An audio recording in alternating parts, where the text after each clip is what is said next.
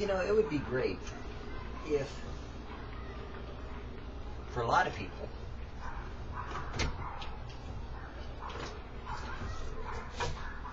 that uh, somehow they could figure out a way to have the end justify the means.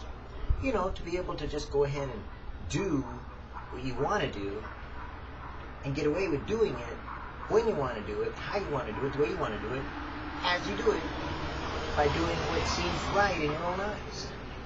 Now, if it wasn't for the Bible, we could probably get away with that in religion, but there's a time in the Old Testament, bummer, where they did that which was right in their own eyes. They uh, kind of like tried to get away with kind of doing their own thing. And you know, it's possible to do the right thing, but with the wrong intention, or the wrong thing with the right intention. You know, they they kind of mix it up. You know, like it seems like a good idea. You know, to just go out and you know do things. You know, to be busy about. You know, doing religious things. You know, kind of like you should go to church. So rather than go like maybe if God says Sunday, go Sunday, or you know whatever day of the week you choose to go. If you don't pray about it, hey, you know, you might just start going Sunday, Monday, Tuesday, Wednesday, Thursday, Friday. You know, I did, but that was a different story. But the point is, you might get overboard, or you might want everyone to do the same things that you're doing, and you won't tolerate anyone doing any other thing, like what God may be telling them to do. But what you're doing is really not listening to what the Lord's telling you, are you? Because you see, it's easy to go ahead and just do what you think's right. You know, you kind of think it up here, you know, you kind of gurgitate it, and you kind of mix it up, and you kind of, you know, you get in your Bible and you read it, and, you know, and you kind of like, you know, or you do your iPad thing where you go, you know, and you zip through the Bible, and you go, I got it. Or you do Barnes Notes, you know, and you get this little kind of cheat sheet on the side, you know, where it says, hey, thus saith the Lord, you know. And you've got all these little rules and regulations all nailed down, you know, about what the true Christian is. Well, unfortunately, yeah, or fortunately, God intervenes. Huh. Because people will take something that sounds religious, that looks religious, that might even be good for you, and make it religious rather than something that God wants to use to inspire you to know Him. You see, the purpose, lots of times, designates the tool you're going to use. Like, if I was going to build a house, let's just say I was going to build a house. You know, I'd probably draft it first, you know, meaning that I'd make up some plans, you know. Although I have helped build a log cabin one time with a buddy of mine that, you know, we just cut down some poles, you know, lodgepole pine, and we did notch them right, you know, and we shaved off the bark, you know, we got it so that it stretched and all that stuff, and we built, you know, a cabin, you know, and it was decent, you know, I mean, it, it survived winters, you know. And I remember one time that I was, you know, trapped, so to speak. Actually, I was abandoned by my buddy, but I was stuck up 7,000 feet high, you know, up in the, up on um, Lookout Ridge, up in Oregon, you know, and uh, snowstorm was coming in, and I needed to build something in a hurry, so I built a little kind of like cabin, you know, and had a little hole for my fire. You know, I built a primitive, you know, fire and left a kind of like a chimney flap, you know, so I could keep the heat in, but at the same time I could still warm up the area I was sleeping in. Because I was stuck there for weeks, for a while, till my food ran out, my gas ran out. I still had my chainsaws, you know, all three of them. But another snowstorm was coming, so I kind of figured, you know what? If my buddy isn't coming up, I'm walking out of here. So I buried my chainsaws and walked out. When I got to town, I was mad. We left the chainsaws buried there till we got, you know, later on in the spring and came and dug them up, and they were fine. But the point of it all is, is that if I was going to build a house, I would want to use the right tools for it. I wouldn't want to build it with a chainsaw. You know, it's kind of like it just doesn't work quite the way you think it would. Although it can be done. I've done it. Hmm, a lot of work. But you sit down and you, you make your plans. You know, you've got your, you know, you build your framework. You know, you've got your boards, you got your lumber list. You know, you kind of, if you're an electrician, you know, you're going to build it with electrical supplies. You know, you're going to lay out the electrical, you know, schematics. You know, you're going to do all the things. You know, maybe to code if you're in a city, maybe not if you're like in the bush in Alaska.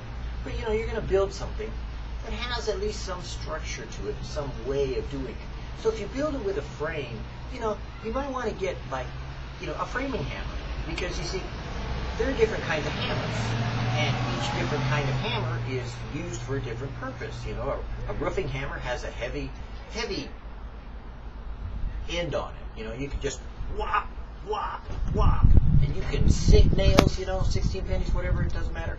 You can sink those nails. You know, no problem when you're roofing with a roofing nail. When you got a framing hammer, it's a little bit different. You know, it's a little narrower. It's a little bit more finite. You know, it's kind of kind of nice. I like my framing hammers. You know, but craftsmen have their own tools that they use in order to use them specifically for a purpose. And that's kind of what God does when he's got a purpose in mind, when he's trying to tell somebody something. He knows, according to his own planning, what he wants to use and what he wants done. But sometimes people get carried away when they want to use something he didn't intend to, and they go ahead and use a chainsaw where maybe a framing hammer might have been a better thing to do, or you know a skill saw, because I don't know about you, but you know, I have taken a chainsaw and I've cut two by fours. It can be done. It can be done craftsmanship too, but you know, you really want to have a finer blade on that chainsaw if you're going to do it for cutting two by fours than just ripping it apart, because you get splinters everywhere. But the point of it is this: what the tool is designed for and what the purpose is designed for is according to the planning and the reason why you're using that tool. God does that with people. He doesn't necessarily want you running off and doing your own thing because you really don't know what the purpose is for. You think you know. You think you got it down. But then you get there and you kind of go, you scratch your head and you go, well, you know, now that I'm here, I better wing it. And that's what happens when sometimes you see contractors get into a job, you know, and then they kind of like, you know, do a little fast shuffle. Well, you know, we're an inch short, so we'll shimmy it. You know, we're not quite level, so we'll just smack it a few times. You know, you've seen those things happen, I'm sure. All of us have done them at some point in time. You know, it's like, well, oops, toward the page, you know, flip the page real quick. It doesn't work that way with God. You see, God does know what He wants to cause to grow.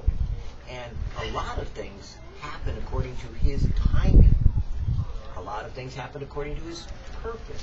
A lot of things, believe it or not, happen according to His design. And He knew that you were going to get involved. So, knowing that you didn't know what you were doing, sometimes He has it designed that way so that you might be a part of something bigger than you are. You might not always see the big picture and may only know the small part that you fit in. But the purpose and the design of having plans is to once in a while take a look at them. You know, when I was working, I often would have to go back and look at the design. You know, kind of like, well, okay, wait a minute, what are we doing here again? And look at the design and the plan and the schematics of it and how we were going to do something on a certain day in order to accomplish it that day so we can move on to the next phase of the construction project. Or in my situation, you know, sometimes when I was a network engineer, the next phase of the rollout or the implementation of our um, information systems that we were we were um, constructing inside the casino or wherever it was that we were doing it. You know, one phase might be, you know, doing the um, cabling, you know.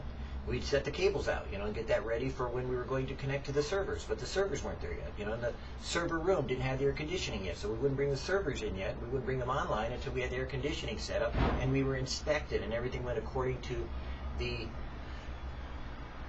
process of getting approvals from the state in order to be compact with them so that we would have our internal control standards set in place as we progressed from stage to stage to stage to stage as we began to develop all the implementation and rollout of a network engineering project that would eventually become what you see as a casino.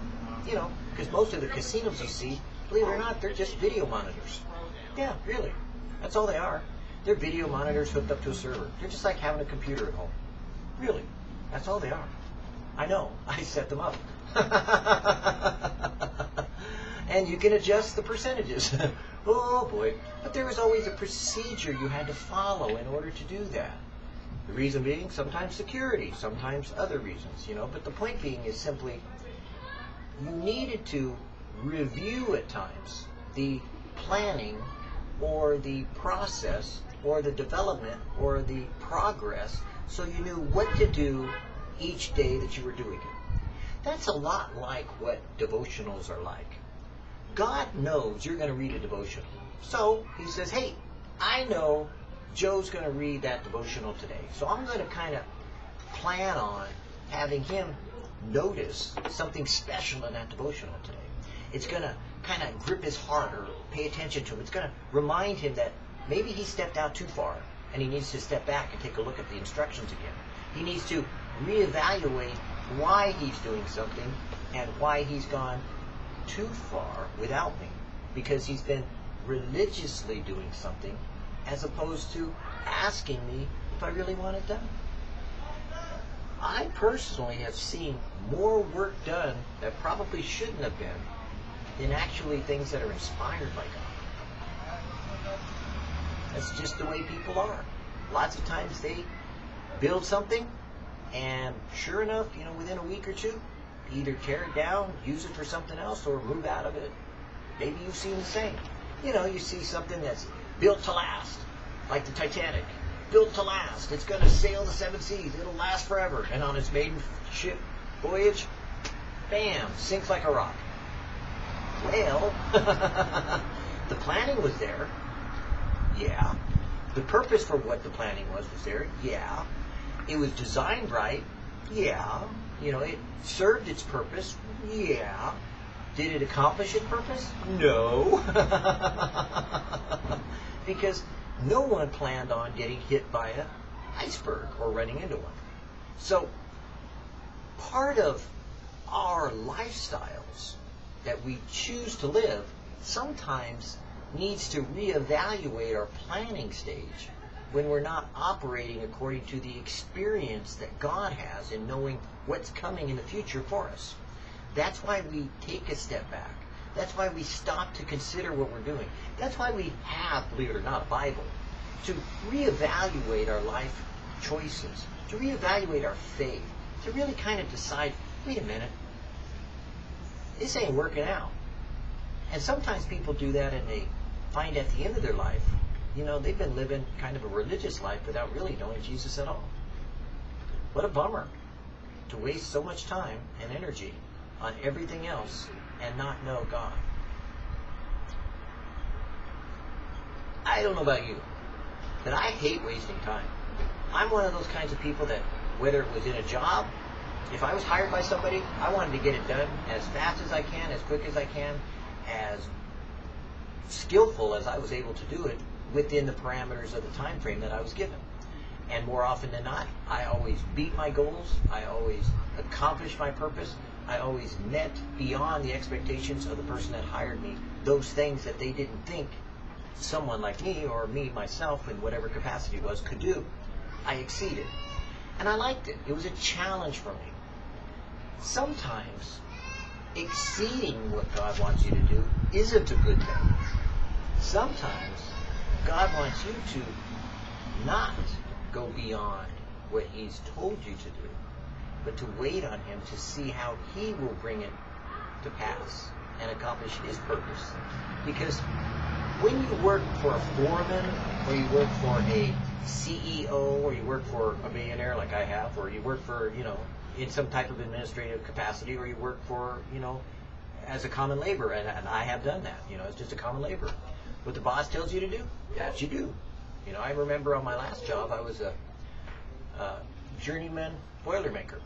And because we were non-union, they would tell us to do a certain job, and that was it. We stopped doing the job when the job was done, and that was it. Didn't matter how long it was scheduled to take. Didn't matter what was left over. Bingo. You do that job, and that's it. Stop until the foreman tells you the next thing to do. Because with their type of union rules, you were not allowed to do other things or go beyond what the job requirements and the specifications stated. So there were times I was sitting around getting paid 20, 25, 35 bucks an hour to do nothing. not the most brilliant planning in the world in my mind, but hey, I was not paid to do the thinking. I was paid to do the obeying. And you see, sometimes that's what Jesus meant when he said to obey is better than sacrifice. You can get out there and work your tail end off, sweating and doing and working it and trying to manipulate this and, you know, kind of argue with that and, you know, make everybody try to listen to you, you know, and try to force, you know, somebody's you know, idea down someone else's throat, you know, kind of like, you know, you see sometimes some evangelism's that way. You know, some people like to go out there and do confrontational Christianity where they seem to want to, you know, beat someone to death with the Bible. I don't know about you, but I thought the Bible was instructions. You know, it's kind of like a blueprint for life. And you know, I, I don't know about you, but I, you know, when I see somebody that you know doesn't know what they're doing, I say, hey, look, check this out. This works. You know, if it doesn't work for you, don't do it. But if it works, great, try it. Check it out, see if it works. Other people, they like to kind of like, you know, maybe use it as a hammer when it really should be used as an instruction. So I don't know. You know, maybe that's just me. But maybe it's like you too. Maybe you don't like to waste time. Maybe you don't like to waste your energy. Maybe you're getting older. And you kind of like to do like I like to do. Kick back, take it easy, enjoy what you see around you. Maybe you like to rest in what's been accomplished. Maybe you kind of like to watch tomato plants grow or like these blossoms you see behind me, maybe you like to kind of appreciate them for a while.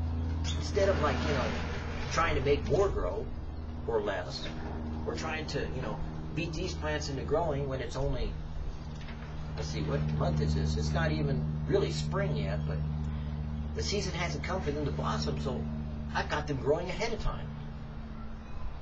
Maybe I just need to let them grow in their season and they'll produce as they are led by the environmental circumstances of warmth of sun, plenty of water, dirt, and everything else. And then once they've grown right, they will blossom and everyone can enjoy it. Maybe sometimes that's what you and I need to do. To take less care about what we think we should do and more time to stop and listen to what God would tell us to do.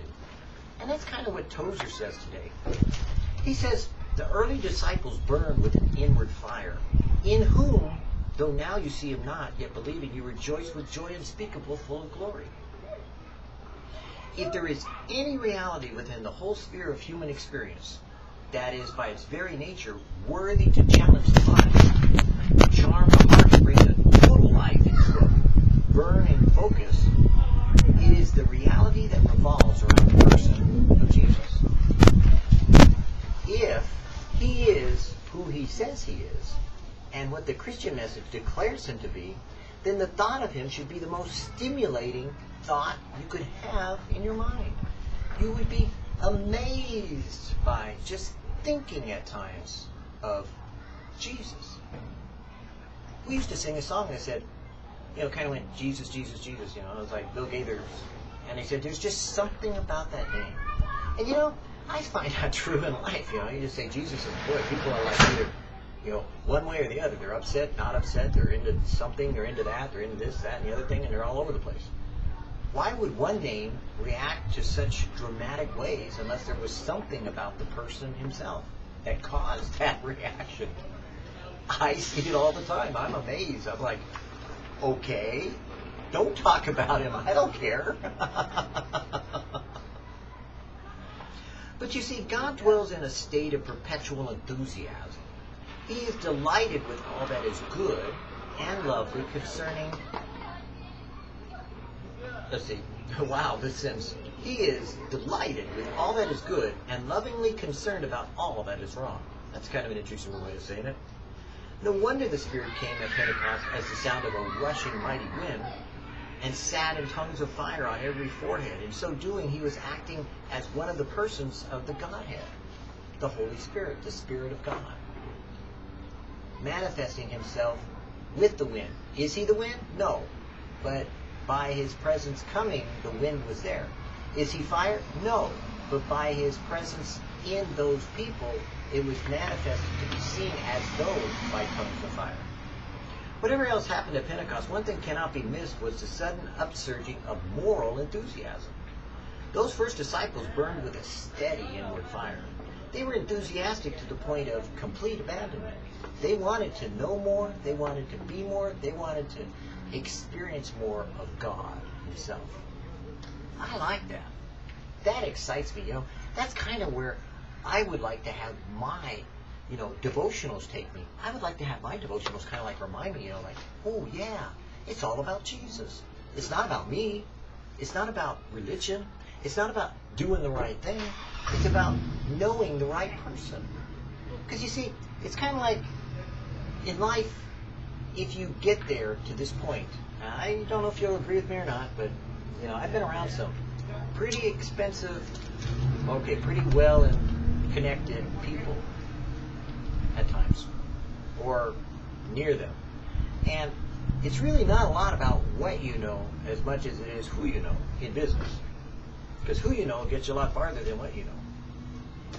Quite frankly, most of the time, when I have met people that were in charge of things, it wasn't what they knew, but it was who they knew because they would take people that were craftsmen and bring them under their wing and they would be the CEO of them. They would be in charge. They would make sure they had a good team that produced, but they would be the one in charge. And that's usually the way people that make lots of big money do. They find someone else who does the work while they kind of like assemble a team and keep them focused in on the direction that it should go.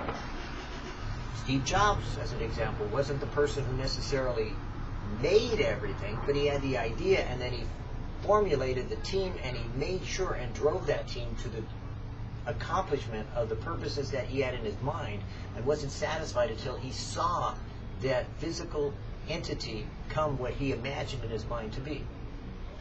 He was very successful at that.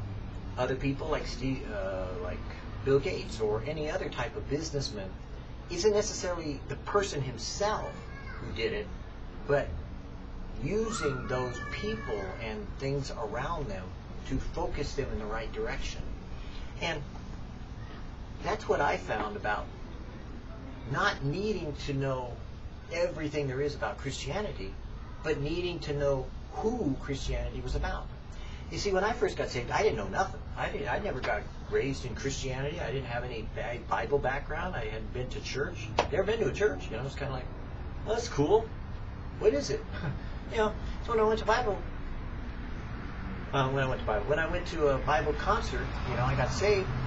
God, as weird as it was, gave me some supernatural knowledge right off the bat. You know, it's kind of like, ooh.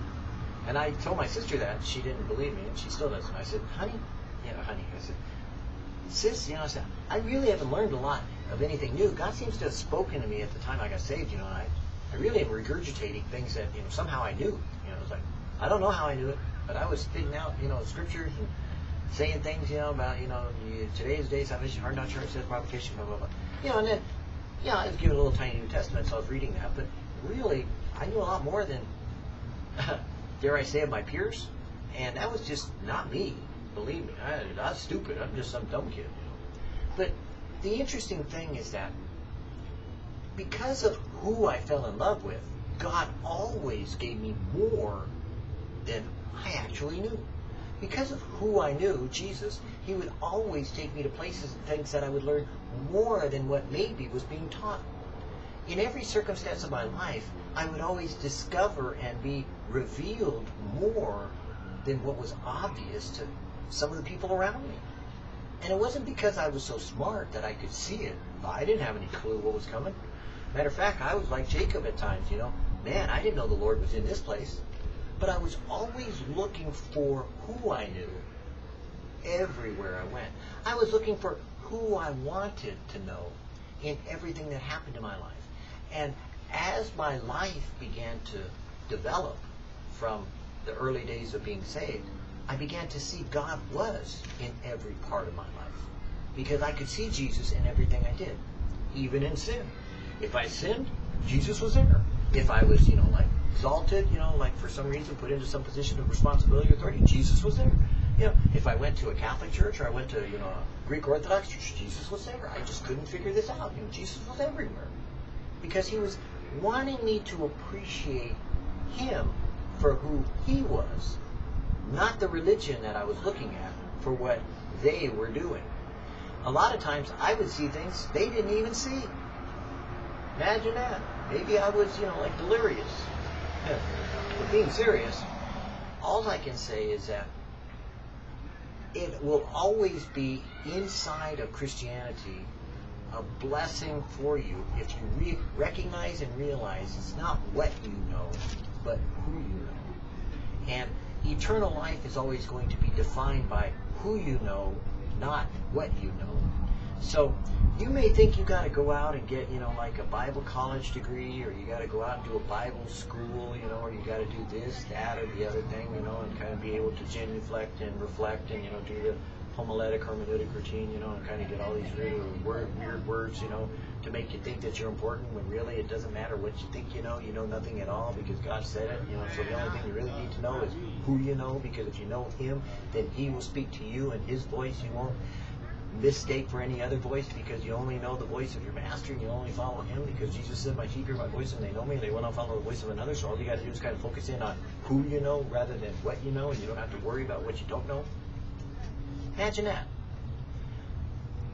When I was talking about the design and the purpose, you know, like of building a house, I was always interested. Was like, I would go to, you know, like I was working on a construction project one time and, you know, it was out in Palm Springs, and they were doing a renovation, and I was going as a framer, and uh, or no, as a taper. I was going as a taper, and uh, yeah, it was funny. It was a long drive. I remember that. Boy, young kid, you know, but I was out there as a taper, and uh, you know, we would do the we would do wet.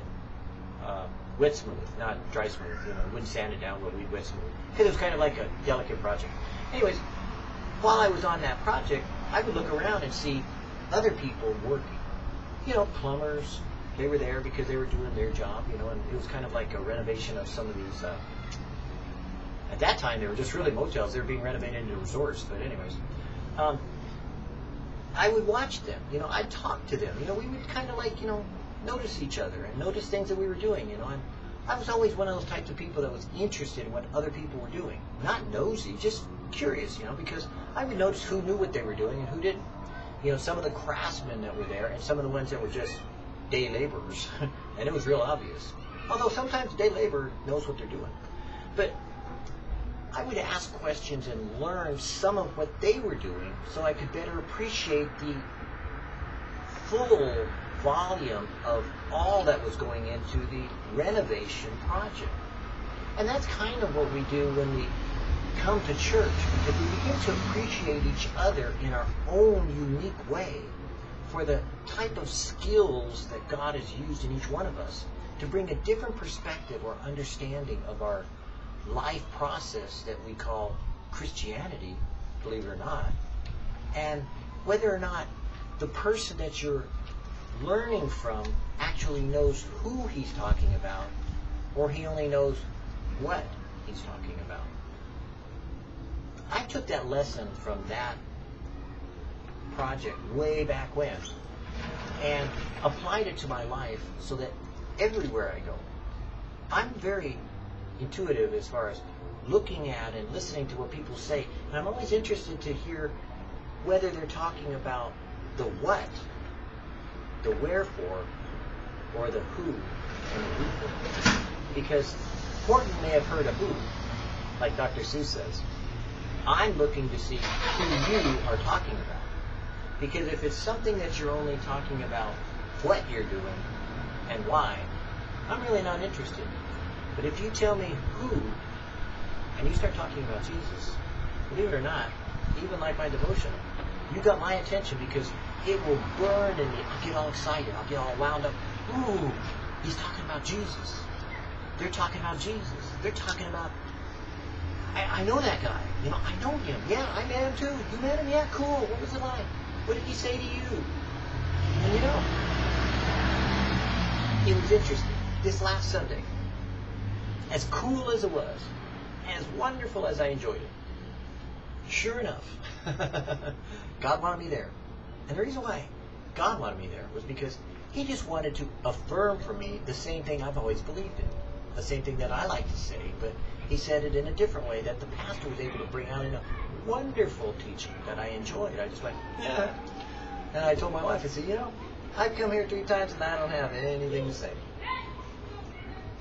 You just kind of grin and go, yeah, isn't it cool? you know, that's when God is using a man and using a man to demonstrate his grace and mercy through him in order to reveal his son and what Jesus would say to us each as individual people. It's when people do that that I just sit back in a pew and I just enjoy it. I don't I don't come up with anything I disagree.